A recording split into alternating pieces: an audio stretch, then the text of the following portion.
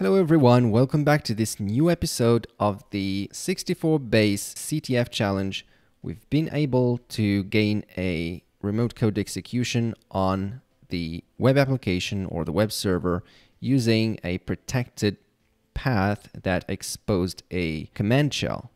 And today we're going to dig deeper and see how we can leverage this to get a comfortable shell and maybe become root.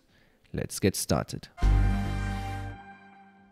If you're interested in pursuing an ethical hacker career, then I encourage you to head over to academy.thehackerish.com. There you will find online courses that you can enroll to and just find a suitable course for you. It should give you a great start. So what else can we run? Because this is a PHP application, we can use also pass-through. Yep, we get the same results.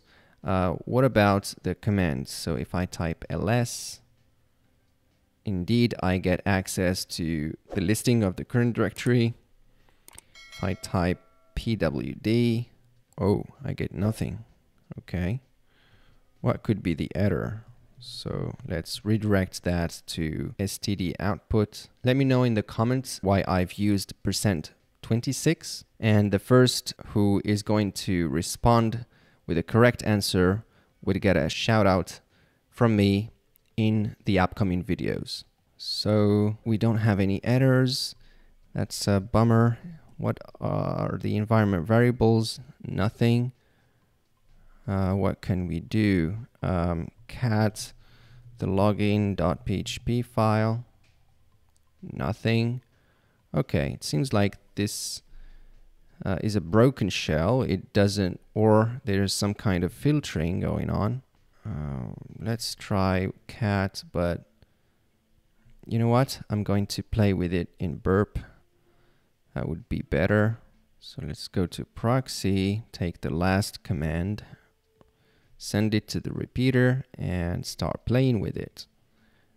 So instead of ID, I'm going to type cat and uh, you know let's just run pwd and as expected we get no response.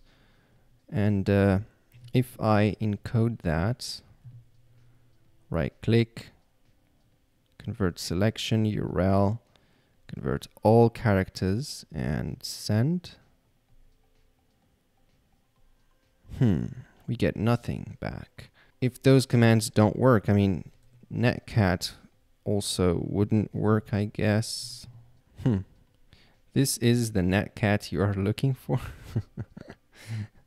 okay, that's funny. So netcat returns a ASCII art, so we wouldn't be able to run uh, like maybe a reverse shell. What about Python?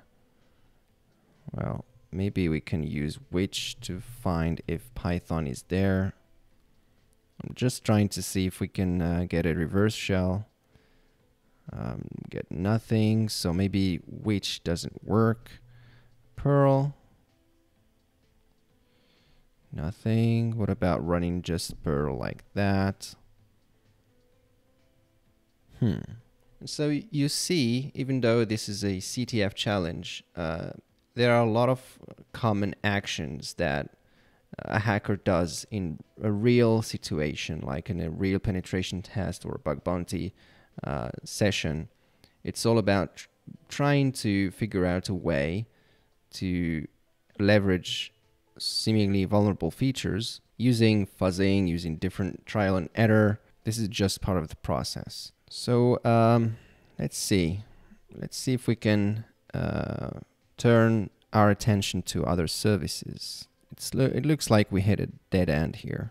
Let's not forget that we have a flag and generally in uh, this uh, CTF challenge all the flags had some hints and now it's just uh, how we should use it. Because this is a uh, challenge called Base64 and throughout the entire process we used base64 every time, so maybe we can echo that and base64 encode it and use it as a password. Why not? Okay, let's copy it. Um, try with SSH using that user And let's cross our fingers, paste the password. Oh, okay. We land on the box using SSH as the user base 64. Oh, ID doesn't work. rbash. Uh, okay, so it seems like we are in a restricted shell. Environment. Shell being rbash. Oh, bummer. Okay, we need to do some kind of bypass. Okay, that's what we're going to do in the next video. Stay tuned. Make sure to hit the like button, subscribe to the channel. It helps me grow it. And let's see you in the next video. As always, stay curious, keep learning, and go find some bugs.